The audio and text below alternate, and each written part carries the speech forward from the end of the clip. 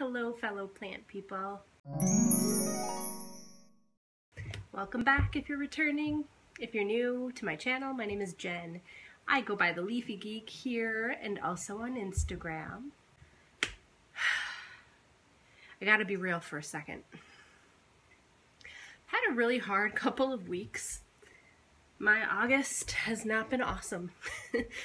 uh, between some health problems with my hound dog and some stresses, just external stresses. I mean, we're all under a little bit of pressure, a little bit extra lately with the whole pandemic thing, but just things going on in the world, things going on in my next door neighbor's state, things just in general,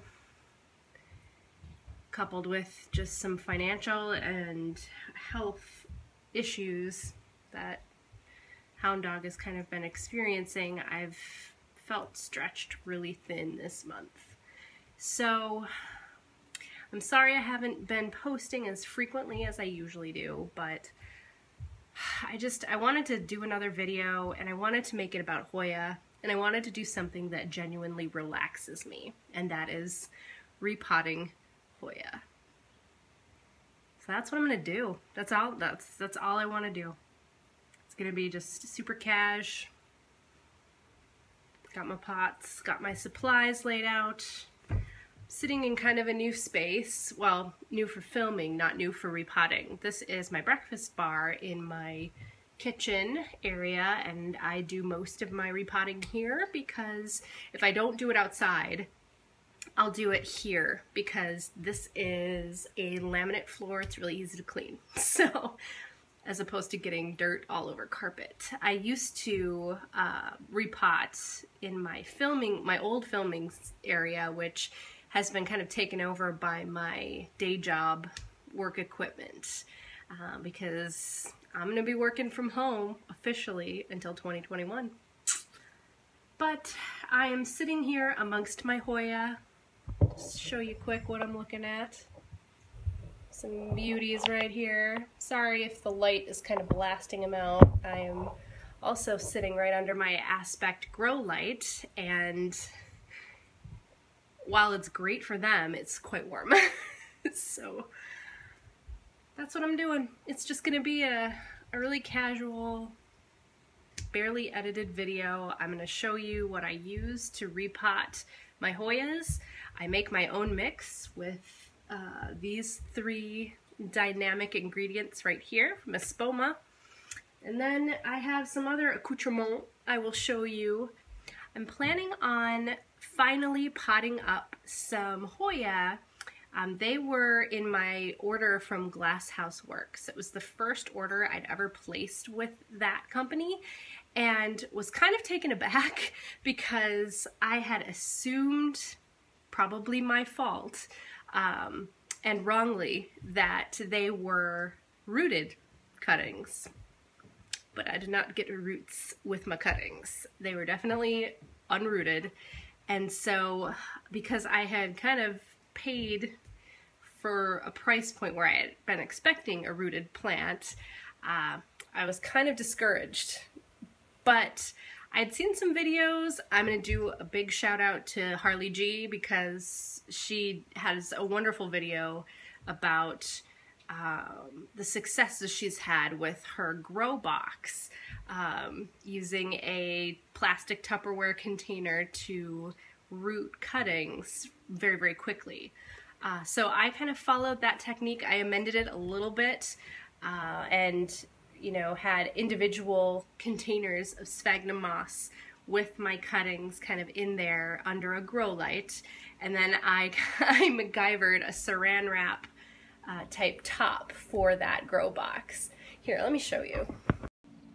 Exhibit A, the grow box. There's my saran wrap flap, and those are the cuttings I'm gonna repot. So yeah, it's just plastic Tupperware container, a couple of jars of water that obviously looks like they need to be changed. I have a couple of other Hoyas in here that are kind of rehabbing a little bit um, that I had gotten from some Instagram friends. And then I have a new cutting. I'm trying to save one of my Hoyas that started to decline pretty severely, pretty quickly. But those three right there in the sphagnum moss, those are the three I'm going to repot tonight. Okay, I don't know how well I'm in frame, but it's just how we're doing this. Super cash. so I've got my Hoya right here, and I will review what the names are. I, full disclosure, I have already checked on the roots, and have kind of wanted to clear a lot of the sphagnum moss off the roots as gently as I could off camera. I knew it was going to maybe take me a little while. So I did that already, but I will show you because I will probably be shocked and impressed again as, you know, as much as I was when I checked them the first time. But first, before we kind of get into the Hoya stuff, I wanted to go over some of my equipment that I use and products that I use when I am both rooting cuttings of Hoya and also repotting. So let's just get into that. Okay, so I already mentioned that I use Espoma and I do kind of an equal balanced mix of these three, but I lean a little bit heavy. So I say equal balance, but I lean a little bit heavier on the orchid bark the perlite that I use from Espoma. So it's kind of in general, you know, like a third, a third, a third, but I'll throw a couple extra handfuls in of this stuff when I'm when I'm making up a batch of the soil that I used for my Hoya. So all of my epiphytes actually really use this kind of formula for their soil needs. Uh, and then the potting mix, I try and go light on if I can. I know it's it's nice and rich, um, there's a lot of nutrients in it, but again, epiphytes like to have a lot of air around their roots, so it's kind of what I strive for. Then I usually just mix them up into a handy dandy food bucket. I can't remember what, what this even was, if it was ice cream or what. I don't think it was ice cream. But I'll mix it up. I have it labeled. I just reuse the same bucket when I make new batches of soil. It's pretty handy. I poke holes in the lid just to keep things aerated and not stagnant. Then we kind of get into some stuff. I don't know how well you can see this. I use a plastic tray. It's fairly large enough. It's large enough to contain that any spillage, you know, overspill of soil that I, being me, will distribute everywhere in my lap, etc. if I don't have one of these. So I use my tray. And then I usually keep a couple of mixing bowls that have long, they're no longer used for food. They are designated for plants um, and repotting. I have a couple of mixing bowls to dump old soil in um, if I am, you know, repotting from a smaller container to a larger container and there's soil already, you know, in that pot with that plant. In this case, we just have sphagnum moss, so we are kind of good to go. And then, of course, we have containers. These are what I use when I am potting up my Hoya cuttings. I like to have my Hoya in plastic versus terracotta it tends to be a little bit easier for me to a control the moisture and also um, to gauge when they need to be watered uh, a little bit better. I don't know, it's just a preference I have. I've also heard the argument with uh, terracotta may or may not damage their roots if you go to repot them. I don't really know the full argument either way, but I just, I gravitate toward plastic and I'm fine with grow pots. I use a lot of cachepots around my house. I have um, a lot of cachepots that I both purchased new or that I've thrifted or that I have repurposed um, other objects from and they are now cachepots. So that's kind of my my MO with, with that. I like to, you know, have the ease of kind of the grow the plastic grow pot, you know, for the care aspects of Hoya, but then you can always stick it in something pretty and it looks great. So the last thing I kind of want to touch on before we get to the good part uh, is what I use to uh, root my cuttings when they come to me uh, as cuttings without roots. So my preferred propagation method is the water propagation method. That said, I have had decidedly less success rooting Hoyas that have the woodier stems in water.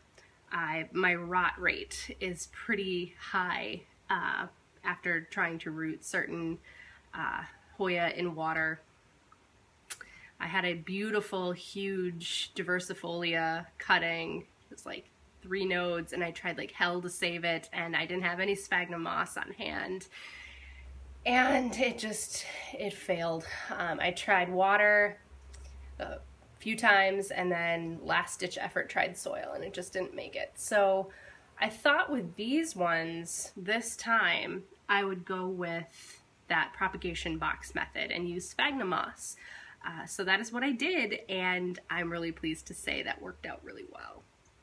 And then what I use um, both with my water propagations and my sphagnum moss propagations is a rooting powder, a hormone rooting powder. And I use the Bonide rooting powder, Bontone. And basically what this does is it speeds your roots development and it reduces the chances of the plant material rotting before the roots can establish. So it's worked pretty well for me. It's what I use. Okay now it's time for the fun stuff. What I think I'm going to do is mix my soil up and I will do that. We'll speed that up just because mm, it's not that great, it's not that exciting. But then I will show you the roots on these bad boys and let you know what the what they are. I'll kind of do a recap of, of what Hoyas I'm repotting today.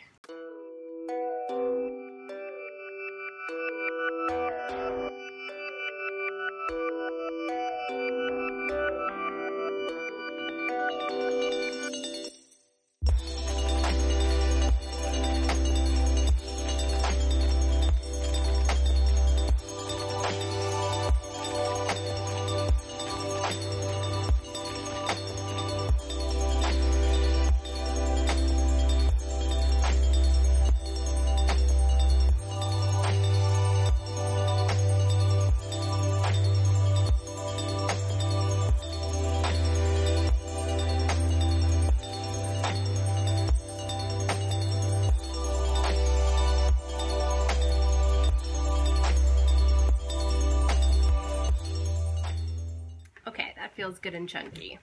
Got a nice mix going on. It's really porous and fluffy.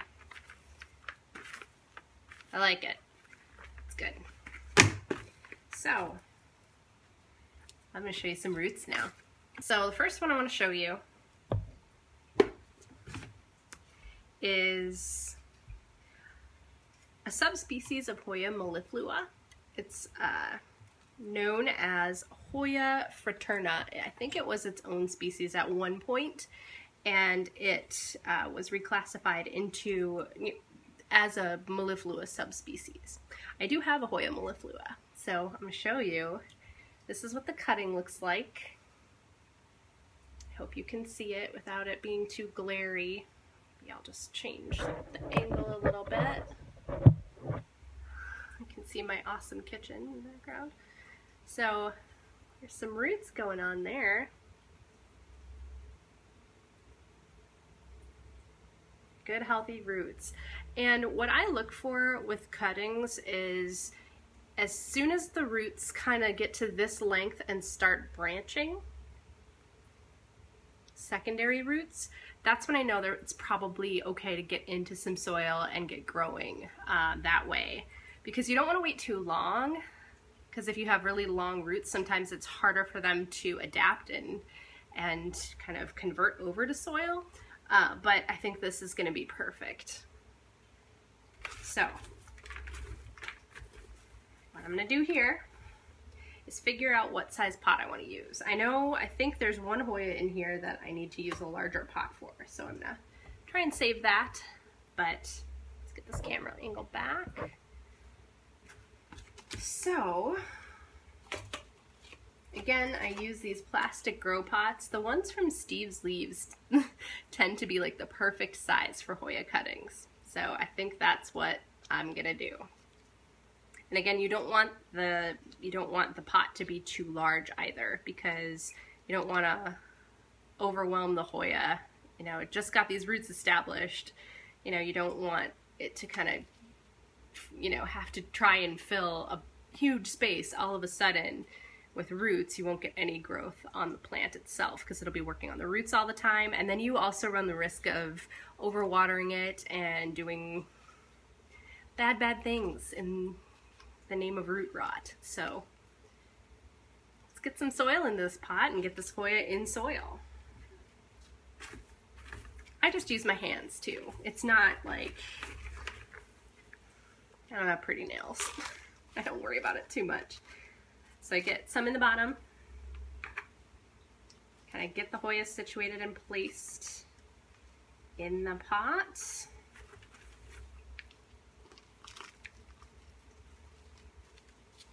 And you want to make sure that it's packed in there pretty good. You don't want it to be just flopping around in there. And because you're using such a chunky mix, you can kind of pack it in and stabilize it and it will do fine. You know, the roots will still be able to breathe. If you were just using like straight potting mix, that might be a different situation. So yeah, just kind of pack everything in. Leave a little bit of a rim for overflow if you're watering when it's dry. And then just kind of tap the sides to settle everything in and make sure that there isn't any air pockets necessarily. You don't want too many, you know, you want air around the roots, but you don't want there to be big gaps uh, because you don't want the roots to dry out either. There. One down. Hoya melliflua subspecies fraterna. Okay, next Hoya. Let's take a look at this little guy. This is my Hoya gonolobioides. Yeah, that's right. So I am going to show you this and then we'll have a chat about it. So this guy has been my slowest rooter so far. It's a healthy looking plant. The roots are very, very small. Can see. So what I'm thinking, but something else I've noticed with this one is that it's growing monster aerial roots off of the second node. So this is a two noder kind of, well, it's this main kind of stem kind of branched off here and deviated. There's a, there's a node right there, and then there's a node right here. another node up here that's not doing much, but I've got roots off of two nodes right here. So if I wanted to, if I wanted to, I could cut this off because this is also an active growth point right there. I could cut this off and try and root this part where these aerial roots are. And then I might have two cuttings instead of one. So I'm not to pot this one up today. I'm to think on that um, because when I checked today and saw that the roots were as small as they were and that it was doing this fun thing, I kind of went, mm, yeah, I might want to reevaluate a little bit and see what exactly I want to do with this one. So that's what I'm to do. I'm just gonna stick it back in its sphagnum moss and stick it back in the grow in the the, the grow bin and let it hang out for a little bit longer. And we'll just kind of revisit it in a week or so and see where we're at. That's my plan. So I lied, only two Hoya repotting today. This one's worth it though. This is worth your time. So I just want to show this to you because I pulled off the sphagnum and was like, wait, this isn't sphagnum? Like what? This is a root? Oh my god. So, this is my prized Hoya McGillivrayi. And oh my gosh, you guys, it's a it's a beautiful cutting. I was terrified to try and root this thing. But I want to show you these roots because oh my god, they're so good. This is why I was saying I am probably going to need a bigger container, a taller container for this one.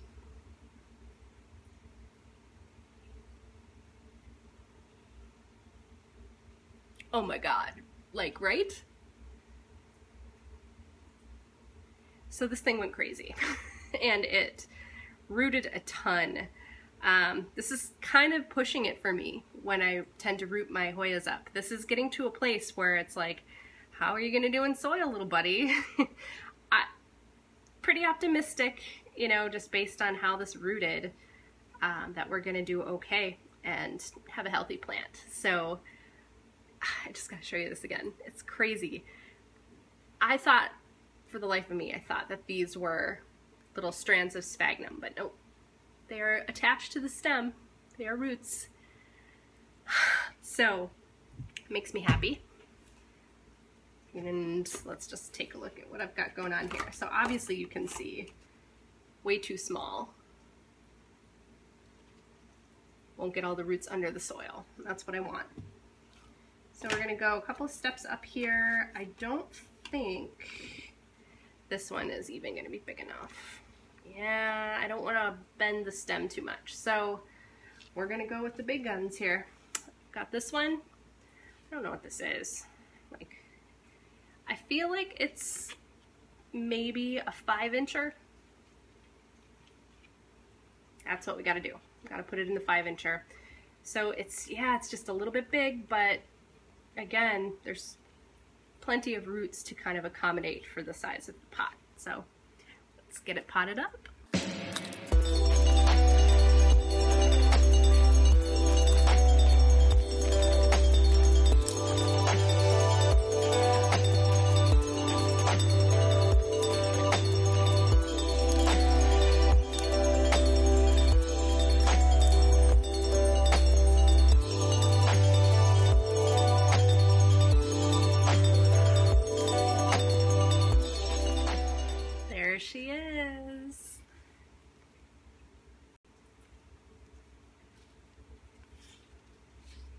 I love it.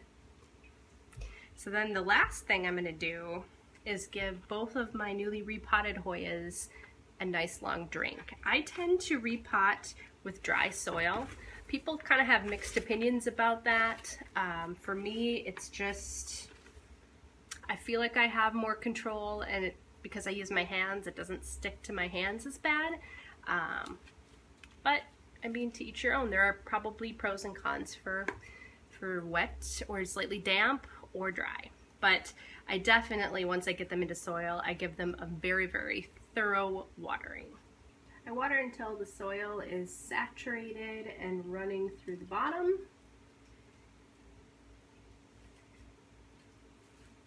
And then I will kind of pause and then do it one more time. Kind of helps the first time you you kind of water it as, from dry as it helps to kind of settle the soil in.